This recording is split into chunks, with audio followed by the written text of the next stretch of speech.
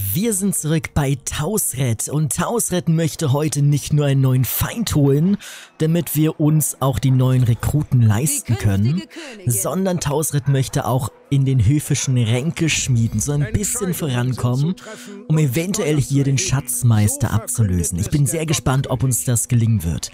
Bevor wir das machen, müssen wir Tausred höchstpersönlich natürlich noch ein bisschen upgraden und da haben wir sie bereits auf Stufe 5 gebracht, hier bei der Tapferkeit. Und wir brauchen natürlich später die Stufe 6 hier, um Paradenschwelge auch wirklich hinzubekommen. Allerdings bringt uns Stufe 6 jetzt keinen großen Vorteil mehr. Stufe 5 hat hier nochmal viel gebracht, denn von Stufe 4 auf Stufe 5 haben wir nicht nur 2% mehr Nachschub bekommen, sondern der gesamte Effekt rund um die Nahkampfabwehr ist erst bei Stufe 5 dazugekommen. Und wir erreichen natürlich die Stufe 5 Belohnung auch hier oben bei der Präsenz am schnellsten, weshalb ich sagen würde, gehen wir hier erstmal äh, bei der Präsenz weiter, bis wir hier auf Stufe 5 sind. Denn am Anfang geht es in Anführungsstrichen nur um Unterhalt. Unterhalt ist super wichtig, dass wir das runterbekommen. Sondern dann geht es hier später nämlich auch noch darum, dass wir Einfluss dazu gewinnen, was super wichtig ist, wenn wir irgendwann fernab unserer Ländereien neue Gebiete besiedeln wollen, wo wir natürlich von Anfang an wenig Einfluss haben. Ihre Kompetenz hat sich gesteigert, dadurch wurden ihre Truppen auch günstiger. Das wird nicht reichen, um jetzt hier entsprechend nicht ins Minus zu kommen, denn wir rekrutieren hier zwei neue eingezogene Axtkämpfer. Da werden wir gleich ins Nahrungsdefizit kommen. Ich würde am liebsten das Ganze aus unserem eigenen Ländereien speisen wollen. Also aus Jebu. Und da haben wir natürlich schon ein paar Bauprojekte im Blick gehabt, wie beispielsweise könnte man hier zum Beispiel diese Getreidegruben bauen, die dann nämlich auch Nahrung in den anderen Regionen, in denen wir auch Nahrung herstellen, ein wenig verbessern können und wir können natürlich hier drüben auch nochmal das bewässerte Ackerland upgraden. Also da gibt es schon einige Möglichkeiten. Aber es wird wahrscheinlich nicht komplett reichen. Das heißt, wir müssen uns ja, neue Gebiete holen, die Nahrung bringen. Und wenn wir uns Abeju mal anschauen, ist eine Provinz mit drei Regionen und zwei davon bringen uns Nahrung. Das wäre nicht verkehrt. Und von dort aus könnten wir dann auch rüber zu Shaga. Das ist der Ort, den wir zuerst so ein bisschen im Blick hatten aufgrund der Haltung gegen uns. Die mögen uns nicht, Abeju mag uns sogar. Aber der Weg dorthin ist irgendwie blöd, weil wir hier super lange Wege haben. Hier müssten wir durch Abeju durch, was blöd wäre, weil denen das nicht gefallen würde. Und hier hätten wir eine riesige Verschleißstrecke, wo wir wirklich im, im, im Stellungsmodus durch müssen. Also im Lagermodus und das würde Ewigkeiten dauern, bis wir hier durchkommen. Deshalb ist mir das hier erstmal lieber und von hier kämen wir dann relativ schnell auf Wahat Resit. Also, wir haben schon einen Plan, wie wir das machen werden. Aber ich denke, wir werden in Bälde auch die ersten Handels... Ähm, Optionen abschließen, dann eventuell ein bisschen Stein oder Holz abgeben, um ein bisschen Nahrung zu bekommen. Und wenn wir hier drüben sogar noch eine weitere Steinquelle haben, dann würde sich das sogar doppelt lohnen und nutzen. Das können wir gern machen. Wir haben noch eine offene Aktion und zwar, dass wir was bauen könnten. Das wollen wir erstmal nicht machen, denn wir haben Bauprojekte ja schon im Hinterkopf. Und dann beenden wir nochmal die Runde. Wir haben jetzt gleich eine 16er Armee mit Tausret. Auch das gefällt mir sehr gut. Mit einer 16er Armee kann man schon ein bisschen was machen. Interessant wäre gleich nochmal zu schauen, welchen Stärkrang denn Abeju hat und welchen Stärkrang wir haben. Dafür gehen wir auf Diplomatie rauf, gucken unseren Stärkrang an. 35.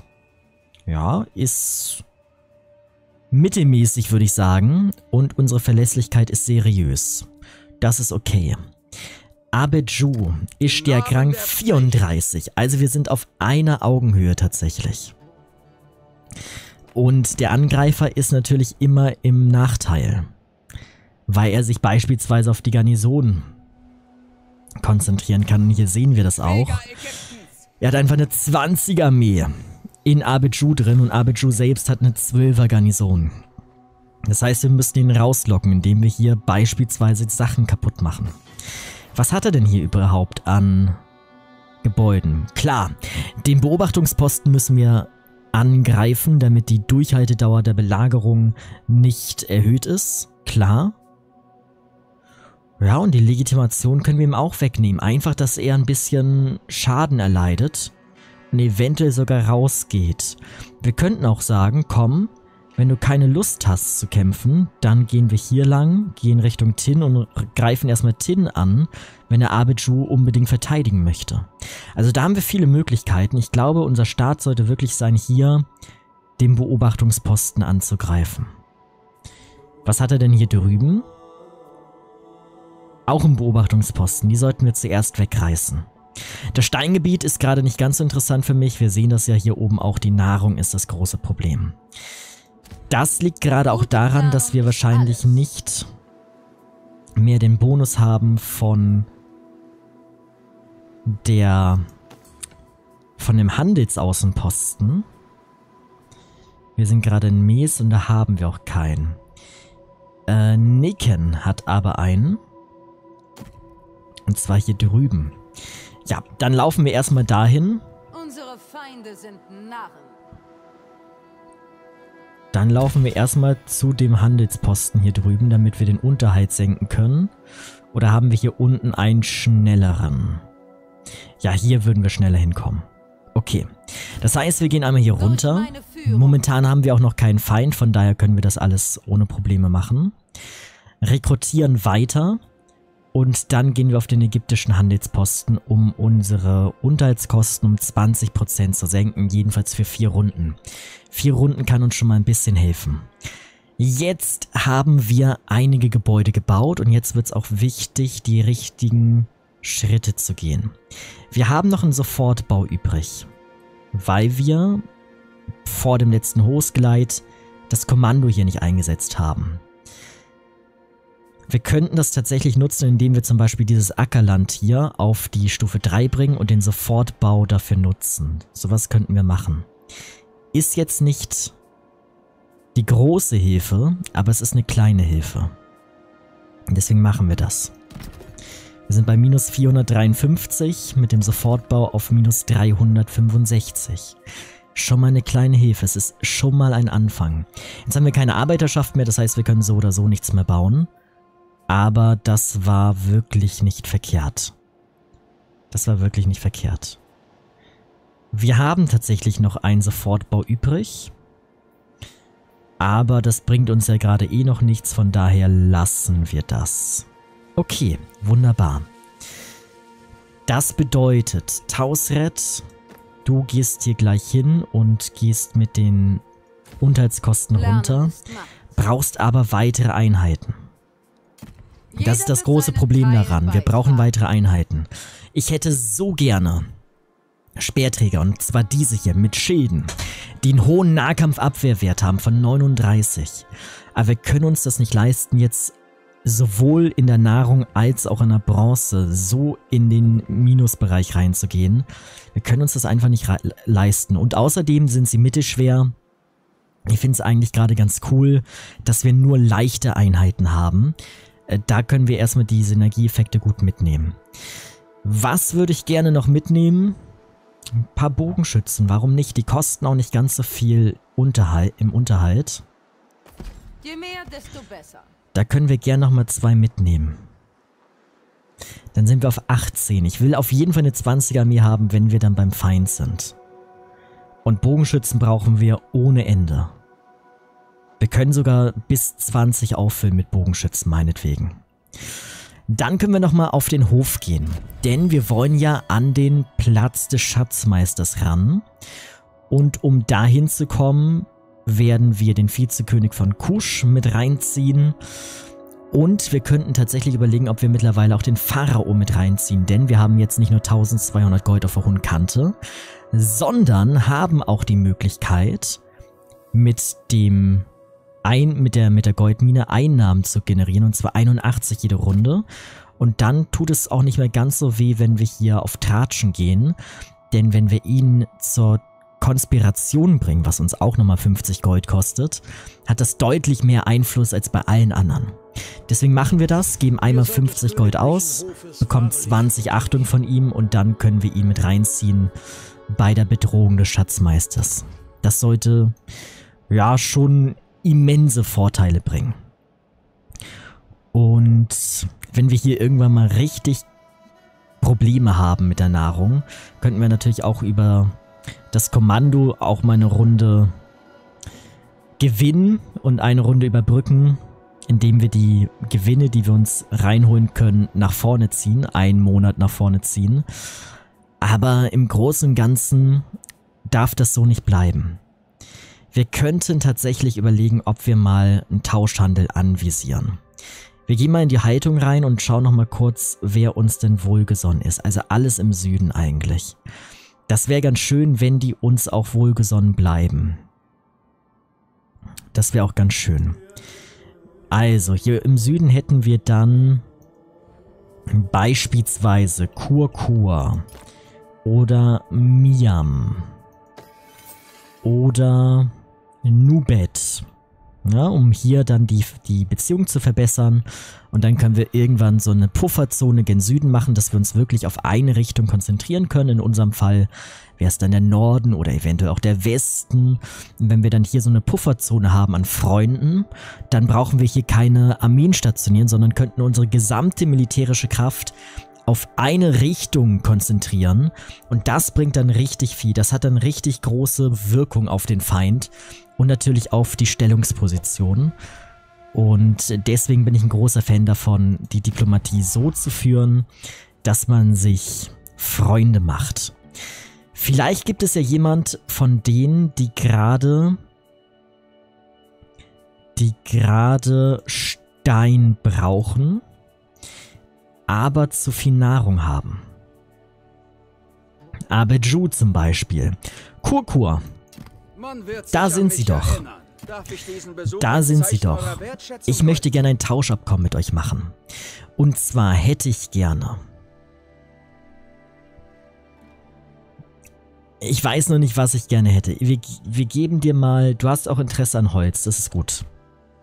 139 Stein. Das ist eh nur für 10 Runden. Das heißt, nach den 10 Runden bekommen wir das eh wieder. Und wir haben schon einen guten Puffer an Steinen. Das sollte eigentlich passen, wenn wir jetzt eine 100 Stein die Runde bekommen. Und du bekommst 54 Holz. Und ich hätte gerne 800 Nahrung. Ist das ein guter Deal? Anscheinend nicht. Wie sieht's denn mit 500 Nahrung aus? Ja, 500 Nahrung ist gar nicht ein schlechter Deal, sagt er. Du bekommst noch ein Gold. Ja, das wird jetzt nicht lange reichen. Das wird jetzt reichen für, sagen wir mal, ja, bis wir die nächsten Einheiten rekrutiert haben, dann werden wir wieder Minus sein. Aber das ist alles gar kein Problem, denn solange wir nur, nur marginale Minus sind, können wir den großen Puffer, den wir hier schon angestaut haben, den können wir angehen. Das ist ja gar kein Problem, bis wir dann hier die nächsten Feinde eingenommen haben oder unsere Gebäude verbessert haben. Wichtig ist nur, dass wir hier den großen Batzen des, des Minus wegbekommen. Und erstmal wird das zu einem Plus werden. Das bestätigen wir so und schlagen ihm das vor. Findet er gut. Das heißt, wir haben jetzt Stein und Holz, was wir weggeben und ein Gold und bekommen eine ganze Menge Nahrung dafür. Das geht nur über 10 Runden, danach ist alles wieder wie vorher und wir haben keinen Verlust mehr bezüglich unserer Ressourcen. Und bis dahin haben wir vielleicht die Nahrung schon im Griff. Wir sehen jetzt natürlich, wenn wir diese beiden Einheiten holen, sind wir wieder Minus, was das angeht, klar. Aber wir müssen einfach nur dafür sorgen, dass dieses Minus nicht allzu groß ist. Und notfalls hätten wir auch noch ein bisschen Gold, was wir abgeben könnten, um noch jemanden nach ein wenig Nahrung zu fragen. Das sieht erstmal alles ganz gut aus und mit allem, was wir gemacht haben, können wir mit stolz geschwellter Brust in die neue Runde gehen. 64 Fraktionen sind noch am Start, das ist gar nicht mal so viel.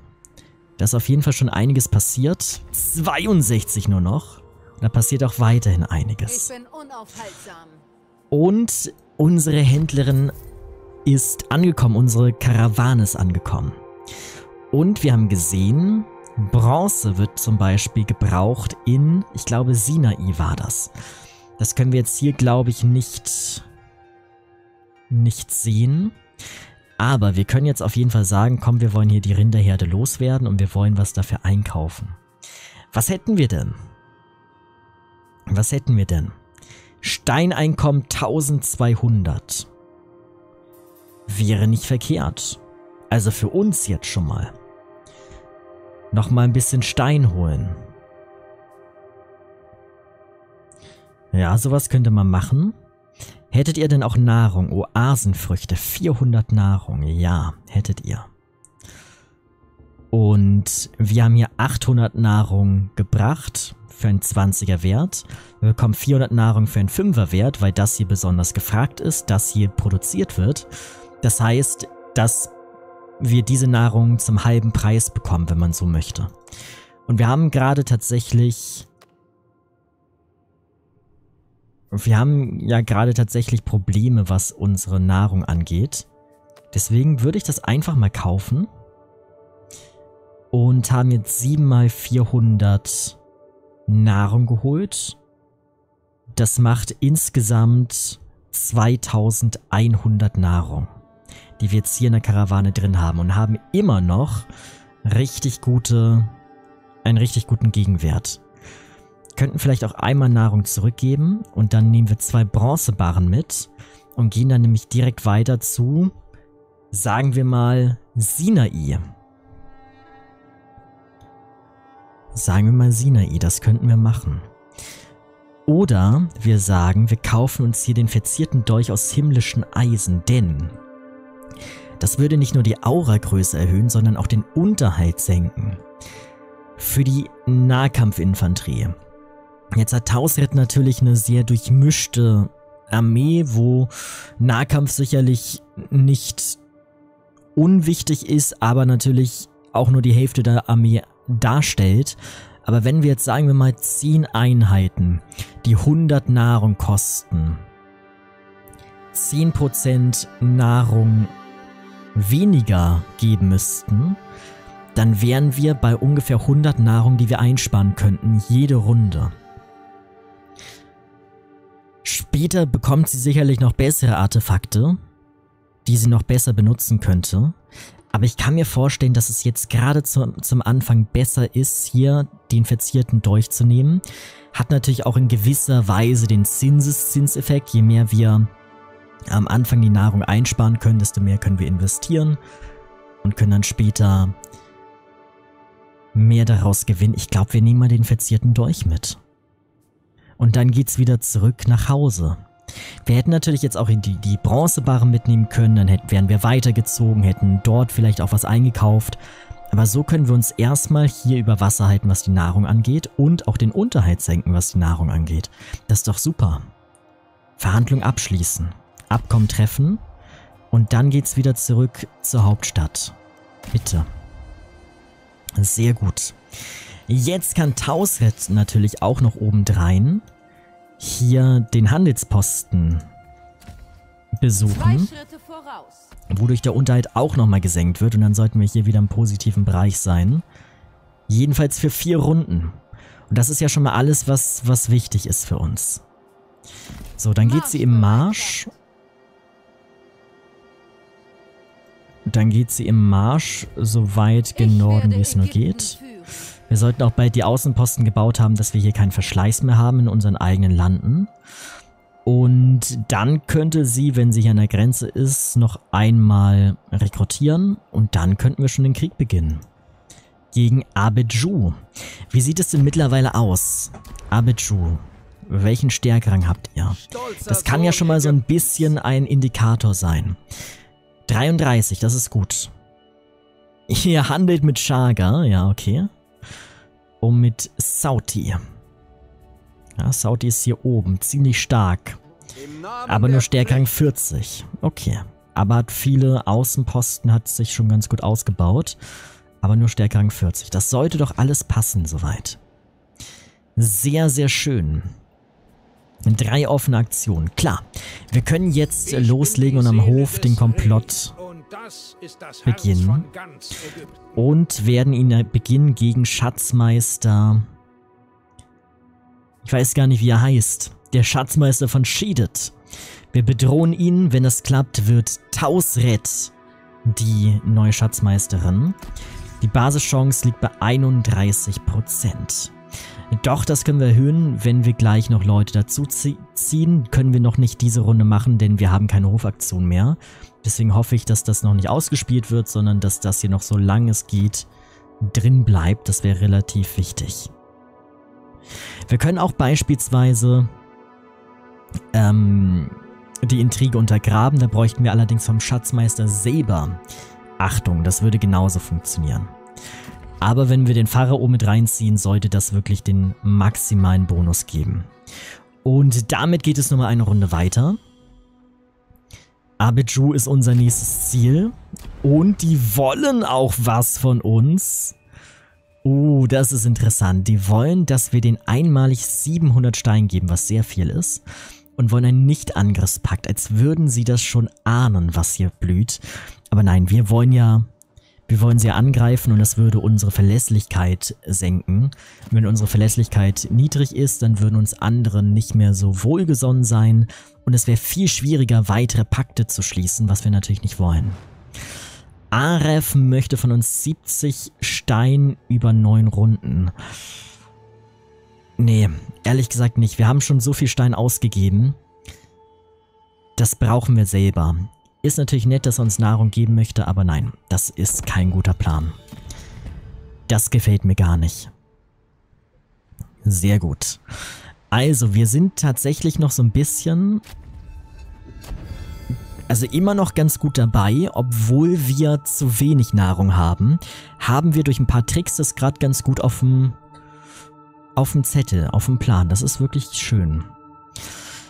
Unterhaltet insgesamt sechs Einheiten mit Streitwagen. Ja, würde ich, würde ich gerne machen. Wir haben das Gebäude noch nicht, deswegen weiß ich nicht, ob wir es in zwölf Runden schaffen. Dadurch könnten wir dann durch die Spezialrekrutierung nochmal bessere Wagenlenker holen. Das wäre schon interessant, aber ich weiß nicht, ob wir das schaffen würden. Errichtet ein Gebäude, das Gold produziert, werden wir wahrscheinlich nicht machen. Haltet fünf Siedlungen, also eine weitere Siedlung holen in zwölf Runden. Klingt realistisch und wir würden nochmal 1500 Nahrung bekommen. Das könnte uns nochmal den Popo retten. Machen wir. Expansion. Euer Königreich gedeiht und doch sehnt es sich nach weiterem Wachstum.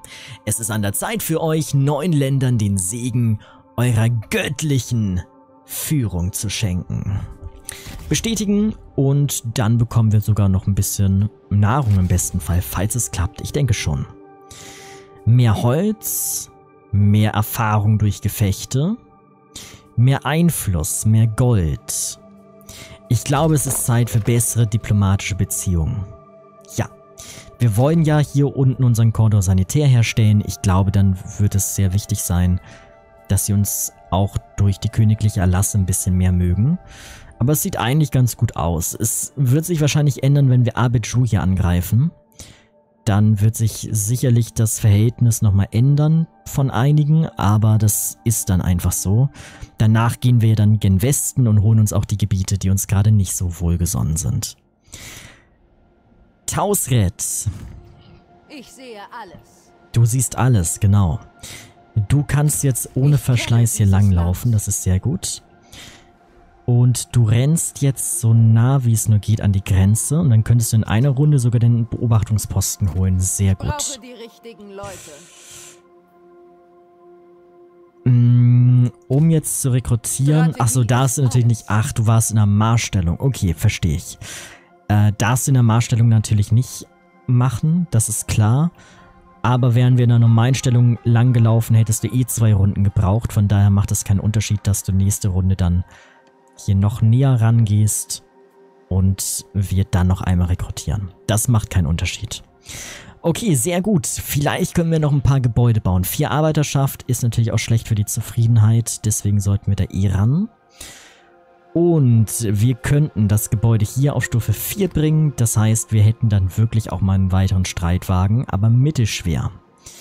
Und wir haben gesagt, vorerst wollen wir auf leichten Einheiten bleiben. Die mittelschweren Einheiten sind natürlich eine logische Konsequenz. Auch gerade die Bogenschützen können wir auch gut aufstellen und sichern, dann passt das auch alles. Aber es gibt andere Gebäude, die wir gerade vielleicht ein bisschen dringender bräuchten. Zum Beispiel das Gebäude, was uns mehr Nahrung bringt für die gesamte Provinz. Das können wir auch in den Regionen machen, in denen wir keine Nahrung herstellen, aber es stärkt Jeboneken, was Nahrung angeht. Und deswegen wollen wir das machen. Einerseits hier, als auch hier und dann haben wir nämlich auch schon unsere gesamte Arbeiterschaft ausgegeben. Wir können auch Stein auf Stufe 3 bringen und Gold auf Stufe 3 bringen und dann natürlich auch Gebäude bauen, die auch das nochmal unterstützen, sowohl Stein als auch Gold. Und das werden wir natürlich auch machen, das ist klar. Sehr schön. Ich bin auch sehr glücklich, dass wir dann hier entsprechend die, die, ähm, dieses Gebäude hier ähm, mit diesem Bonus haben, dass die Produktion aller Ressourcen um 20% gesteigert werden, was ja hier auch nochmal einen großen Bonus bringt. Also was Nahrung angeht, haben wir uns ganz gut über Wasser gehalten. Aber das ist alles nur temporär. Zum Teil auch aufgrund dieses Handels hier mit dem ägyptischen Handelsposten. Da müssen wir ein bisschen aufpassen ein bisschen, ja, das Fingerspitzengefühl haben, dass das hier nur vorübergehend ist, dass wir da wirklich auch weiterhin die Gebäude bauen, wie wir es jetzt hier tun. Wir könnten nochmal in den Sofortbau reingehen. Und je früher wir das machen, desto eher bekommen wir mehr Nahrung. Machen wir mal. Und da sehen wir, ist auf 398 hochgegangen. Das ist gar nicht wenig. Das ist gar nicht wenig. Und es senkt natürlich auch die Rekrutierungskosten, was Nahrung anbelangt.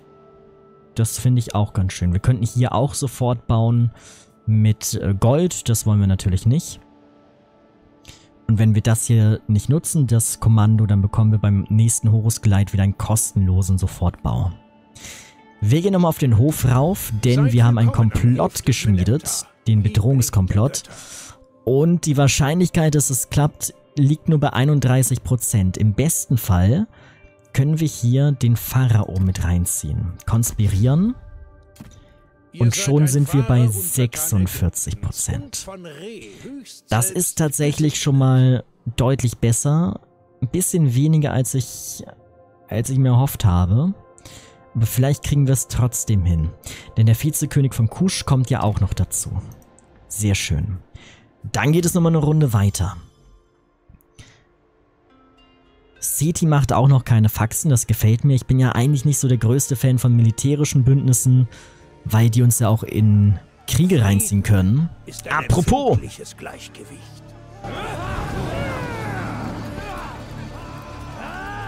Doch wenn sich Brüder gegen Brüder wenden, gelten Tugenden nichts mehr.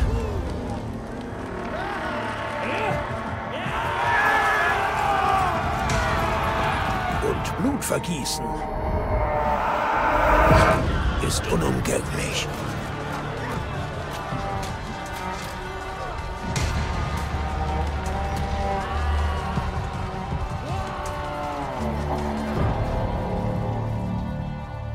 Blutvergießen ist unumgänglich. Da ist ein Bürgerkrieg ausgebrochen, und zwar der hethitische Bürgerkrieg, nicht in Ägypten, von daher ist es uns egal. Aber wir sehen jetzt, dass der Großkönig, Großkönig von Hatti, Shuppiuyuma, gerade jemanden hat, mindestens einen Prätendenten, der seine Stellung anzweifelt und das könnte tatsächlich auch hier in Ägypten passieren. Aufgeflogenes Hofkomplott.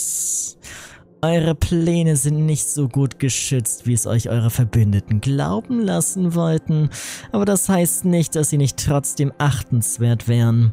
Wenn ihr gewillt seid, ihnen zu entsagen, können wir unsere Ziele in aller Eintracht verfolgen und wir werden unser neues Bündnis als Zeichen des guten Willens mit etwas weitaus glanzvollerem besiegeln.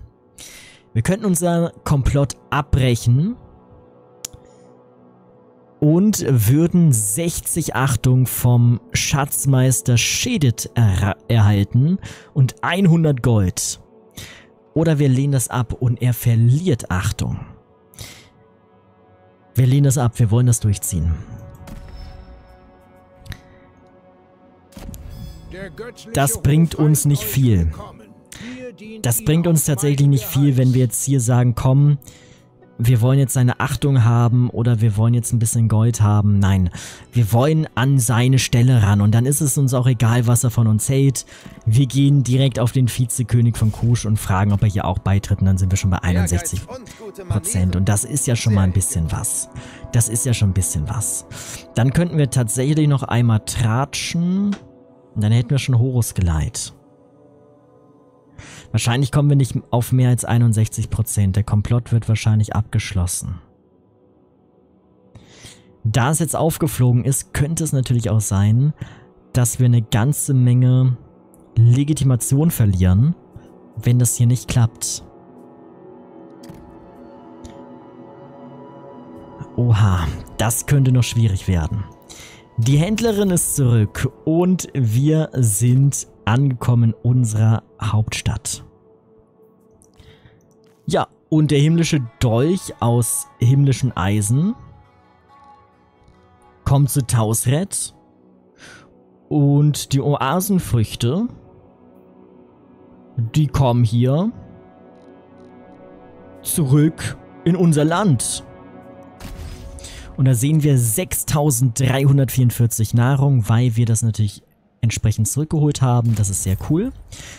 Jetzt könnten wir die Rinderherde wieder mitnehmen. Wir haben aber gerade Nahrungsprobleme, auch wenn es gerade nicht so aussieht. Aber wir müssen natürlich den Krieg auch länger denken. Es kann natürlich sein, dass der Krieg jetzt wirklich noch länger sich hinzieht und wir dann hier über mehrere Runden im deftigen Defizit sind. Da wollen wir jetzt nicht, da wollen wir jetzt nichts riskieren. Und aus diesem Grund nehmen wir einfach mal ein bisschen Seile mit, würde ich sagen. Nehmen einfach ein bisschen Seile mit, auch wenn es niemand haben will.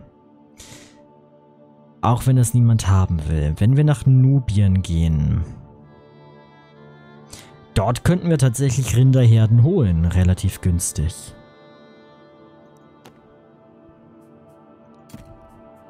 Und dann zur westlichen Wüste oder wir holen uns die wieder zurück nach Oberägypten. Komm, wir holen uns Rinderherden dort in Nubien. Und was nehmen wir mit? Speer und Taschendieb. Naja, solange wir sie haben, ist es okay eigentlich. Solange wir nicht zu viel davon haben. Wir nehmen jetzt einfach mal richtig viele Seile mit.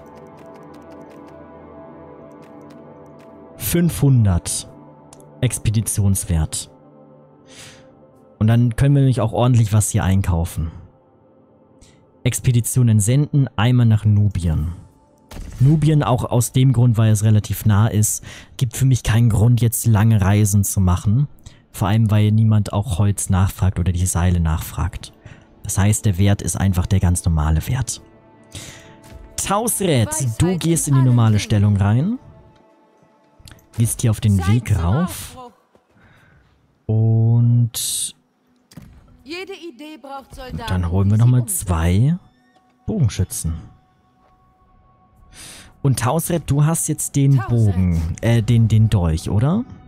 Jawohl. Das heißt, in der nächsten Runde wird der Unterhalt nochmal gesenkt. Das ist sehr, sehr gut. Jedenfalls 10% für die Nahkampfinfanterie. Das sind 4 Einheiten. 5, 6, 7, 8, 9, 10. Ja, das sind so um und bei 100 Nahrung weniger. Warum nicht? Warum nicht mitnehmen? Jedenfalls für den Beginn. Und später können wir ja auch die, die Sachen wieder verkaufen. Das ist ja auch gar kein Problem. Wenn wir was nicht mehr brauchen, nehmen wir das mit und verkaufen das sonst wo und verscherben das auf dem Markt. Das passt ja alles. Auf dem Hof haben wir bereits alles gemacht, haben das hier auf 61% gebracht, sehr schön. Haben noch zwei offene Aktionen. Klar, wir könnten noch mal gucken, ob wir irgendwas bauen können. Und da könnten wir Mies auf Stufe 3 bringen beispielsweise. Ja, warum nicht? Oder erstmal unseren Steineinkommen verbessern. Sieht aber gerade momentan immer noch gut aus mit dem Stein. Wir gehen erstmal auf Mies. Das ist eh eine endliche Ressource, das heißt, wir kommen auch nicht in den Zinseszinseffekt weil es sowieso endlich ist. Genau, das sollte passen. Und wenn Mies dann auf Stufe 3 ist, können wir beispielsweise ja auch dieses Gebäude upgraden und dann auch das Gold auf Stufe 3 bringen. Sehr schön. In Jebu müssen wir natürlich auch noch hoch, das ist klar. Aber im Großen und Ganzen bin ich erstmal sehr zufrieden damit. Und dann wird es in der nächsten Runde wahrscheinlich hier bereits zur ersten militärischen Operation gegen Abedju führen. Wo wir gern noch einmal gegenprüfen können, wie es denen so geht. Vom Stärkerang. Stärkerang 34, 423, das ist immer noch knapp, aber das zeigt schon mal, dass wir relativ auf Augenhöhe sind. Auf Augenhöhe deshalb, weil er natürlich in einer Verteidigungsposition ist und demnach auch ein paar Vorteile genießen kann. Wir beenden die Runde.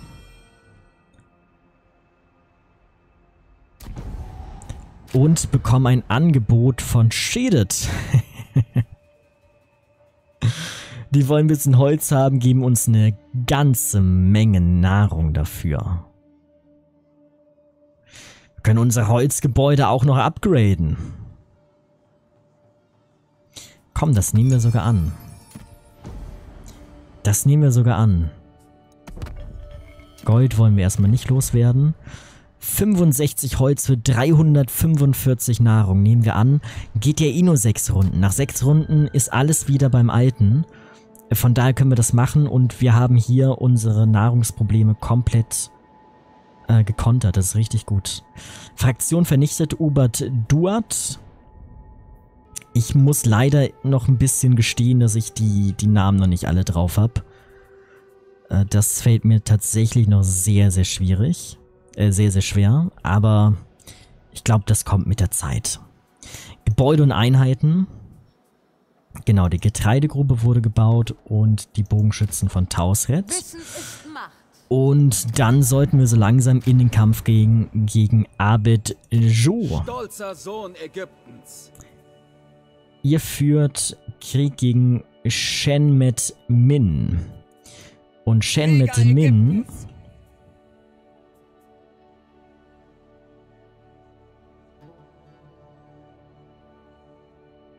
könnten wir anbieten, ich bin sicher, dass wir uns einig werden. dem Krieg beizutreten.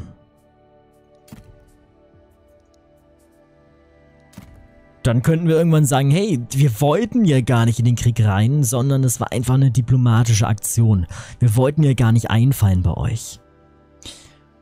Und Nicht-Angriffspakt will ich erstmal nicht machen, weil ich noch nicht weiß, wie es dann weitergeht. Und ich gucke mal, was er uns dafür geben würde. Nee, das ist ja gar nichts. Was hat er denn im Überfluss? Bronze hat er im Überfluss. Wir haben Bronze noch im Minus momentan. Was hältst du denn davon, wenn du uns 17 Bronze gibst? Über 10 Runden. Das ist nämlich genau das, was wir im Minus sind, dann wären wir bei Null. Jedenfalls sind wir hier im Minus unter der Voraussetzung, dass wir beim Handelsposten waren. Aber dann können wir das ganz kurz einmal auf Null bringen. Und ich meine, es kostet uns ja alles hier nichts. Wir wollen den Krieg ja eh beitreten. Das heißt, wir haben hier 170 Bronze geschenkt, wenn man so möchte. Wir schlagen das vor, er nimmt es an und wir sind im Krieg gegen Abeju. Sehr schön. Beim Hof gucken wir mal, ob wir noch jemanden reinziehen könnten. Ich guck mal, ob wir den Hohepriester des Amun mit reinbekommen. Ich tratsch mal mit ihm. Wird wahrscheinlich nicht mehr klappen, glaube ich. Weil jetzt ist gleich Horus Geleit. Ah, wir probieren es aus. Wir tratschen noch einmal mit ihm. Und haben noch zwei offene Aktionen. General nicht bewegt, genau, das machen wir jetzt. Und in Jebu können wir noch was bauen. Ja, zum Beispiel könnten wir in Mes die Goldmine aufwerten. Und was spricht denn dagegen, mehr Gold zu haben? Gold können wir nutzen für beispielsweise Sofortbau. Wir brauchen Gold später auch für äh, Truppen, für Gebäude teilweise, wenn man große Monumente baut beispielsweise. Und Gold ist natürlich auch super, wenn man beispielsweise Handel treibt. Also mit diesen 105 Gold könnten wir uns gut über Wasser halten, wenn uns irgendeine Ressource irgendwann ausgeht. Das sollten wir auch alles nutzen. Sofortbau bringt natürlich nichts, wenn wir keine Arbeiterschaft haben, um dann direkt das nächste zu bauen. Deswegen lassen wir das auch. Sind jetzt auch bei über 80% Einfluss, was richtig gut ist, weil dadurch die Produktion nochmal erhöht ist. Richtig schön. Jetzt sind wir bei 1000 Nahrung im, im positiven Bereich. Das heißt, selbst wenn das hier gleich weg ist, sollten wir hier noch positiv bleiben. Aber diese 1000 werden gleich nicht mehr so schön sein.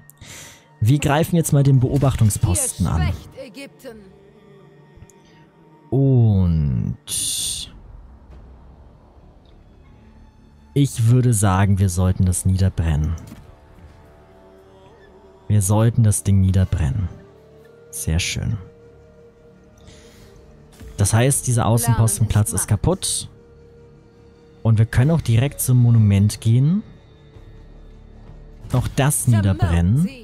Und dann sind wir schon sehr nah an Abeju dran.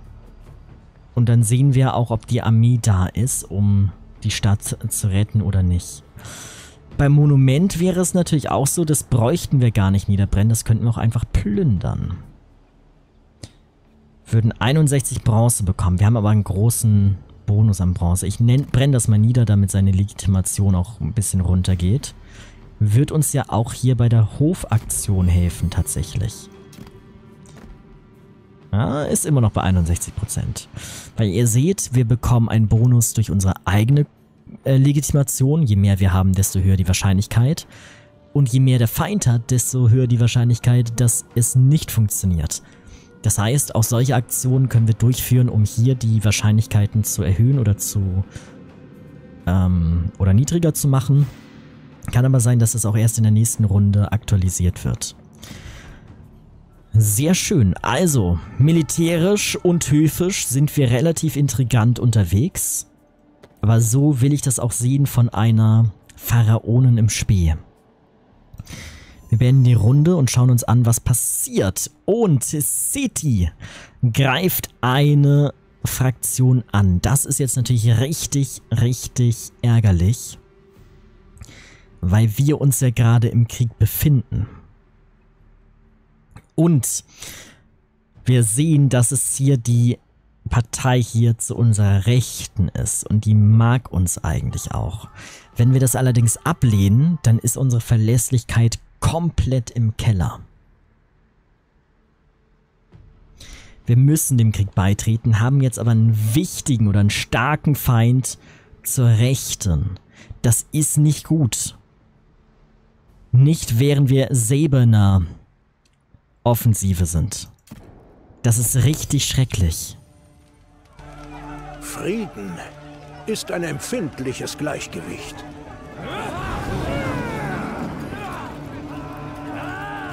Doch wenn sich Brüder gegen Brüder wenden,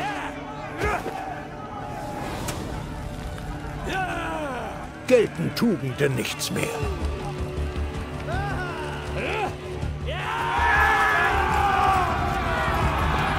Und Blutvergießen ist unumgänglich.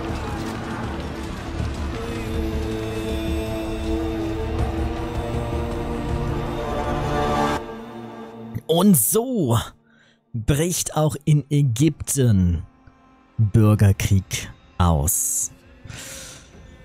Ja, jetzt haben wir dicke Probleme. Jetzt haben wir dicke Probleme. Okay. Es ist Horus Geleit. Das ist erstmal was Gutes. Aber wir haben dicke Probleme, denn wir sehen Truppen. Klar. Vasit hat hier sein, seine 20er-Truppe direkt am Start. Und könnte hier natürlich auch sehr schnell uns angreifen. Das tut echt weh. Dann haben wir hier eine 6er-Armee von Abeju. Wir haben natürlich eine 9er-Garnison in Mes. Die Frage ist, ist die in der Lage, diese 6er-Armee zu kontern? Das wissen wir natürlich nicht. Tendenziell ja. Aber wir wissen ja nicht, was er hier noch für Einheiten drin hat.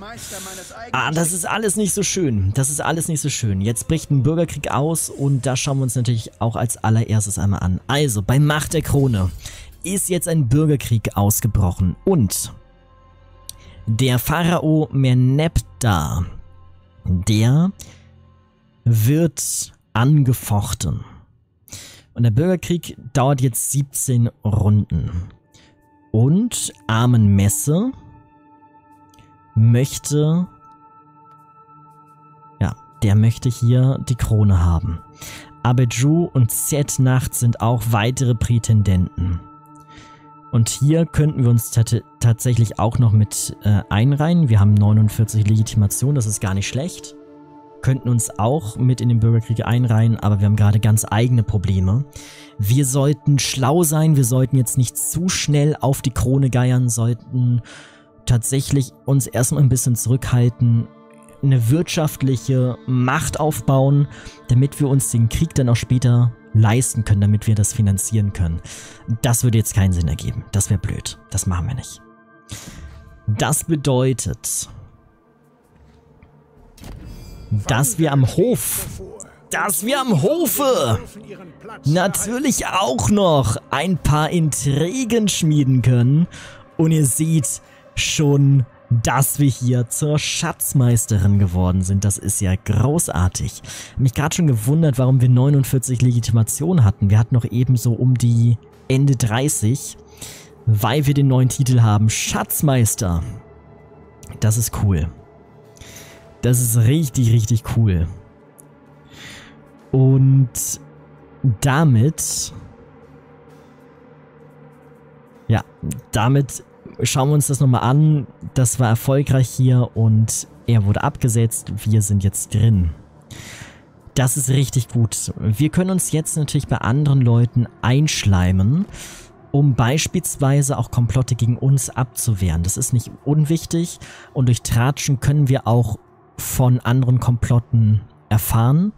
Jetzt ist mir erstmal wichtig im ersten Schritt, dass wir hier den Posten der Schatzmeisterin, dass wir den weiteren, weiterhin halten können. Und aus diesem Grund sollten wir erstmal ein bisschen rumtratschen. Und mit ihm sind wir gerade im Krieg, deswegen tratsche ich erstmal nicht mit ihm, sondern wir tratschen erstmal hier mit dem Visier von Rakotis. So und bekommen dann natürlich auch die Möglichkeit, hier ein bisschen Achtung zu bekommen. Das sollten wir bei allen so ein bisschen machen, damit wir so eine, so eine Grundachtung bei jedem haben. Hier bei ihm haben wir bereits schon Achtung geholt. Wir wollten ihn noch mit reinziehen im besten Fall. Das ist sehr, sehr schön. Dann können wir uns einmal die Bauarbeiterlöhne anschauen und da kommen wir schon rein in die Möglichkeiten, die uns zur Verfügung stehen, weil wir zur königlichen Schatzmeisterin gehören. Und da sehen wir schon, wir können hier auf den verschiedenen Gebäudetypen Rabatt anwenden. Wir könnten sagen, wir wollen jetzt ein bisschen Rabatt bringen auf Ressourcengebäude und Produktionsgebäude. Ich glaube, das ist für uns gerade am besten. Und deswegen gehen wir darauf, wenden das an, haben hier bereits schon ein bisschen getratscht, werden auch mit ihm nochmal ein bisschen tratschen und dann sollten wir hier so ein bisschen im Sattel sein. Das ist schon ganz gut. Dann sind wir auch mit Händlerin Hatschepsut angekommen. Und zwar hier drüben in Nebu war das, ne? Nubien. Nubien war das. Also, wir könnten Rinderherden holen, um hier die Nahrung aufzustocken. Werden wir auch gleich brauchen, weil wir brauchen bestimmt gleich eine zweite Armee wenn ich mir anschaue, dass wir zwei Kriege führen, wahrscheinlich brauchen wir eine zweite Armee. Das könnte ich mir schon vorstellen. Wir könnten aber auch überlegen, ob wir hier was mitnehmen, was uns eventuell auch erstmal die gesamte Provinz ein wenig verbessert. Also wir verkaufen erstmal alle Seile und gucken, wie viele Punkte wir dann haben. Eine ganze Menge. Hier hätten wir nubische Handwerker, 10% mehr Nahrung, 10% mehr Stein, 10% mehr Gold, 10% mehr Bronze und Holz. Für 6 Runden, für 20 Punkte, das ist mega günstig. Das nehmen wir mal mit. Dann weniger Unterhalt auf Geschoss Infanterie.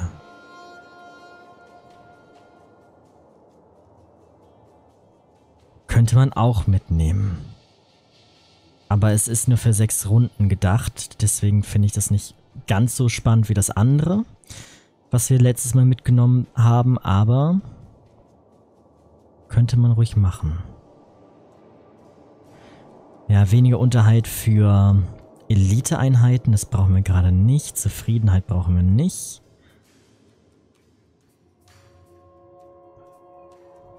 Ja, also wir könnten durchaus sagen, komm, wir nehmen noch mal ein paar Rinderherden mit. 4 mal 800, das heißt 3200. Das ist nicht schlecht. Können auch gern ein bisschen Gold mitnehmen.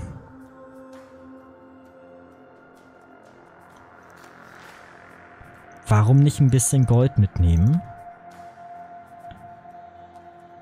Und meinetwegen auch ein bisschen Holz. Dann haben wir noch 25 Punkte. Was können wir uns damit holen? Nubischen Handwerker haben wir uns schon geholt.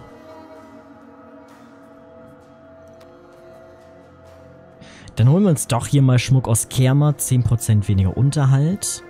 Haben noch 25 Punkte.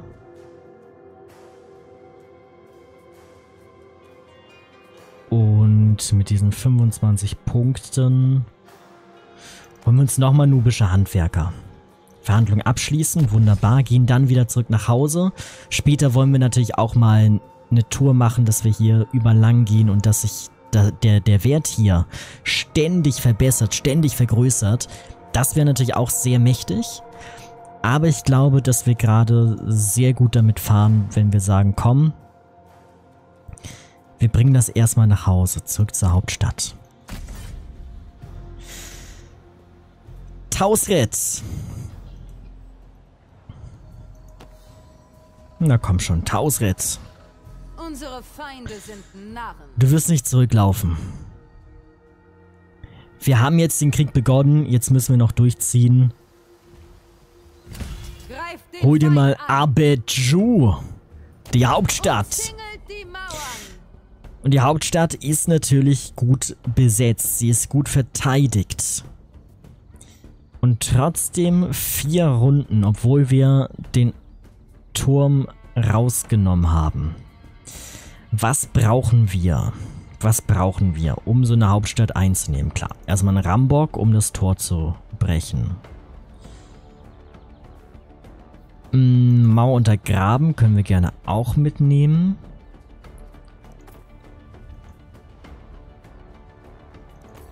Und dann so ein paar Belagerungstürme. Und zwei Leitern. Fünf Runden, dann wären wir auch einmal im Verschleiß drin, das sollte passen.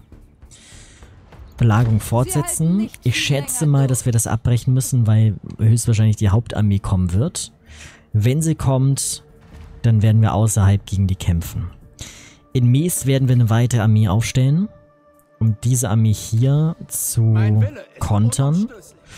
Und die kann dann nämlich auch hier rüberrennen nach Neken, um uns zu verteidigen gegen Vasit. Jedenfalls potenziell zu verteidigen, weil Seti hat uns hier in einen Krieg reingeritten. Und ich hoffe, er greift dann auch gleich selber an.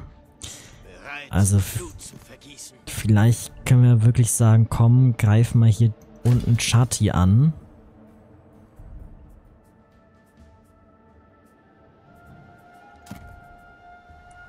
Damit Vasid auch von dir Aufmerksamkeit bekommt. Ach, Seti. Das kam wirklich zum falschen Zeitpunkt. In Mi stellen wir einen neuen General auf. Und dieser General wird eine Menge Nahrung kosten, aber das ist jetzt so. Hm, dieser General wird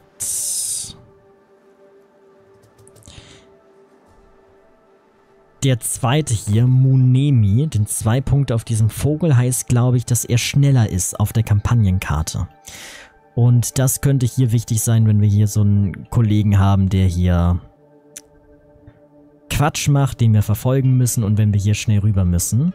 Das heißt, er sollte ein bisschen schneller sein als die anderen beiden. Dann nehmen wir mal Mu Neni mit. Der kommt nach Mies rein, kann dann Mies auch weiter unterstützen. Und darüber hinaus bekommt er natürlich noch Einheiten dazu. Jetzt am Anfang ist es wichtig, dass wir einfach Einheiten haben, die die Linien so ein bisschen halten können. Ja, was soll der Geiz? Oberägyptische Axtkämpfer brauchen wir da. Sehr gut. Ist gefährlich. Es ist alles sehr gefährlich hier. Klar, wir können vielleicht noch Dinge bauen. Jetzt wird es wirklich knapp mit der Nahrung. Ich sage es die ganze Zeit, aber so langsam passiert es, wird es immer schlimmer mit der Nahrung. Und genau, hier können wir nicht auf Stufe 4 gehen, weil das eine Nebensiedlung ist und die Gebäude nur bis Stufe 3 gebracht werden können. Aber hier könnten wir auf Stufe 4 gehen, wenn wir mehr Arbeiterschaft hätten.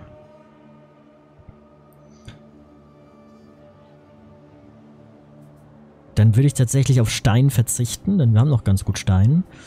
Und äh, wir sparen eine Runde noch auf Stufe 4, damit wir dann nämlich auch die Stufe 4 Gebäude bauen können, wie zum Beispiel hier dieses Gebäude auf Stufe 4 bringen.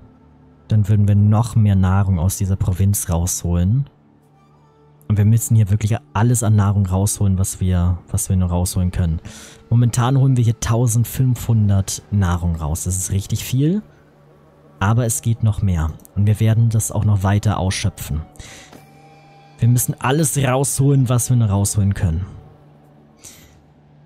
Am Hofe haben wir auch keine Aktion mehr und dann beenden wir die Runde. Es ist sehr, sehr spannend. Was macht Vasit? Was macht Abeju? Was machen andere Leute? Nein, die nächsten Handelsverträge werden wir uns selber überlegen. Und da ist die Armee von Vasid aber ganz schön runtergefahren. Und das könnte tatsächlich ein Angriff auf Jebu sein. Die 20er Armee des Feindes. Keine starke Armee, wie wir sehen. Aber es ist halt eine 20er Armee. Will unsere Hauptstadt Jebu angreifen. Das ist richtig, richtig bitter. Oh mein Gott. Mes steht hier auch mit einer Armee vor unserer Tür und plündert uns. Tausret macht sich hier ordentlich Gedanken, kämpft sich um Kopf und Kragen, um hier irgendwie Zugang zu bekommen zu dieser Siedlung des Feindes. Wir müssen irgendwie Zugang bekommen. Irgendwie. Nicht nachlassen. Und unsere Ressourcen neigen sich dem Ende zu. Jetzt sind wir im Minus bei der Nahrung und es wird immer mehr.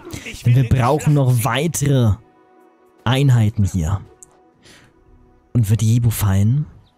Das und noch viel mehr. Es ist so spannend. Werden wir herausfinden in der nächsten Folge.